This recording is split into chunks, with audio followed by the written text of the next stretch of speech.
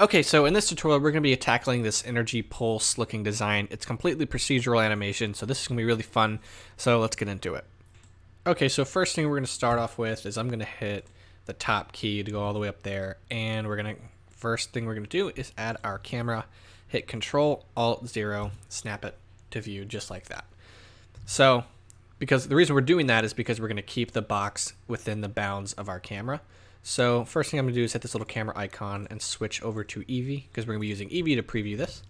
And we're going to mesh, plane, and then I'm going to go over here to the scale tab and just scale it till we barely pass up our camera here. Just like that. And I'm going to hit I'm going to hit shift, I'm going to hit control A and apply scale. Alright, so this is pretty much the only bit of geometry we're going to actually need for this tutorial.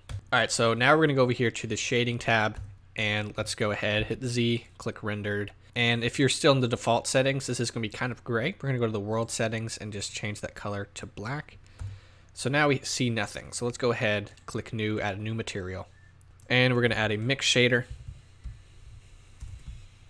right here. And we're going to get an emission shader and bring that all the way up here. Plug it into that shader and give it a strength of three. And let's make it, let's make it a blue, kind of like that.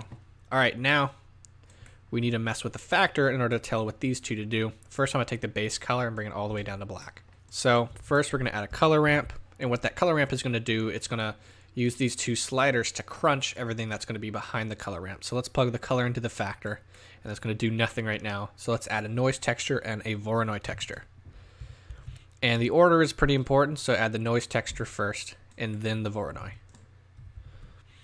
Then we got the Voronoi, plug that color into the vector.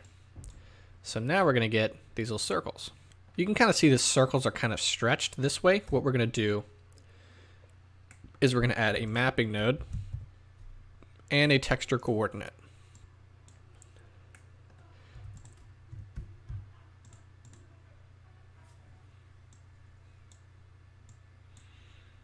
All right, so now you can see the circles are now circular and they're not stretched out and the object coordinate fits them to evenly kind of to this area.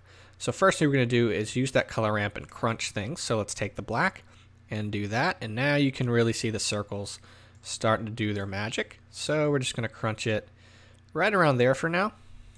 And let's take this Vor Voronoi and bring the scale down till we get a circle right here sort of zeroing out. We want to pick, say, this circle right here. So right now it's a gradient. You can see there is a gradient in the color ramp, which makes these kind of soft when you move it. So I'm going to change it from linear to constant. And then bring this black one right over here and get this white. And so now it is a hard edge when we edit it. So we're going to keep it right around there. And then let's play with the scale of this. You can play with the scale here, of course. But I want to so I'm going to bring the scale to right about there and then mess with the scale here. And right now you can see the circle is not dead center. We're going to center that later, but first we need to make this look like the energy pulse and not just sort of the target logo. So let's take this and make it a little bit thinner. That looks pretty good.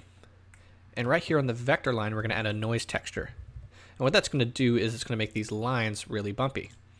But right now when we do it, it makes them way too bumpy. So let's bring the detail up really quickly. Let's add a mix RGB.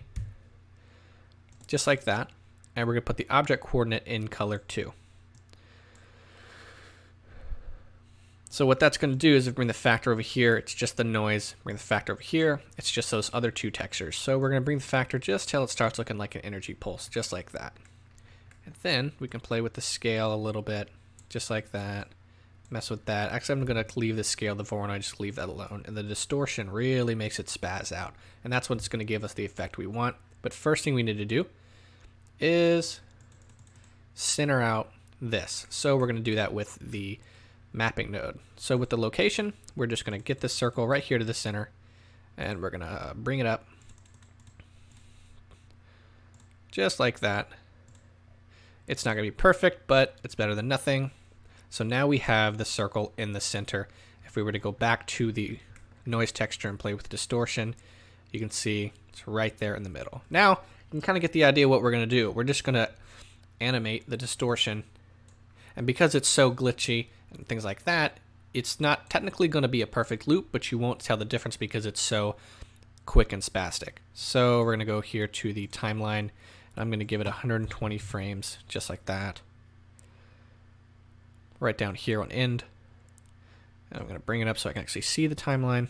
And let's animate it. So right click on the distortion. I'm going to bring it one over like that. Insert keyframe. Click this arrow right here, go to the very end. And let's get the distortion and bring it over. Boom. And insert keyframe. So if we press play, it's not fast enough. It's super, super slow. So we're going to change that. Delete keyframes. Clear keyframes. Insert keyframe. Go to the end. And make it 9. Insert keyframe. So now we get a better animation for this pulse glowing animation here. And then in the bloom, if it's not blooming, it looks like that. You're going to want to click bloom on the Eevee settings. And right now it's too glary. I'm going to bring down the bloom a little bit. And there you go. You have your energy pulse animation. It looks really awesome. And if you don't know how to export it, go here to the little printer icon. Choose where you're going to put the output. Change it from PNG to FFmpeg. On the encoding, change it from that to MP4 and from medium to high quality. And then you go to render, render animation, and it'll render out for you. So there you go. You made a really cool pulse animation. I hope you enjoyed it. Hope you learned something, and thanks for watching.